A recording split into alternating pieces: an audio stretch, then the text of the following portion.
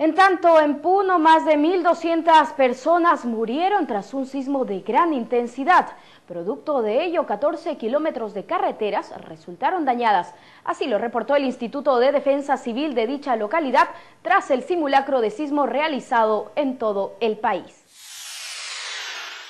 Una regular participación de la población logró la convocatoria al simulacro de sismo que se realizó este miércoles 18 de agosto. La plaza de armas de nuestra ciudad se vio colmada de personas que salieron presurosos de los edificios circundantes. Asimismo sirvió como centro de operaciones para la atención de las víctimas y heridos del terremoto de 8 grados en la escala de Richter que presuntamente se presentó en la región Puno. Lamentablemente no faltaron los indiferentes y quienes tomaron a broma esta actividad educativa preventiva.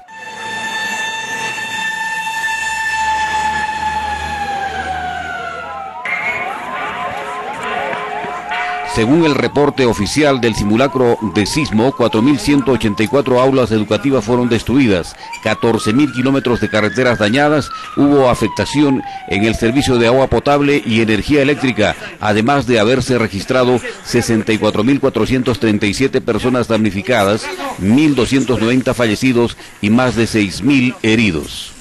A estas horas de la mañana, eh, familias personas damnificadas 64.437. Eh, vía la salud afectadas 141.704. Fallecidos 1.290. Desaparecidos 288. Heridos 6.877. Eh, viviendas destruidas 19.735.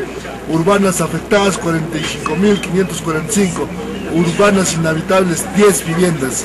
Esto es a nivel de las 13 provincias de la región de Puno. Lamentable. Irá creciendo, me imagino. Habrá personas desaparecidas hasta el momento. En el tercer y cuarto reporte final de cada secretario técnico en la provincia, eh, seguramente esto va a ir creciendo lamentablemente.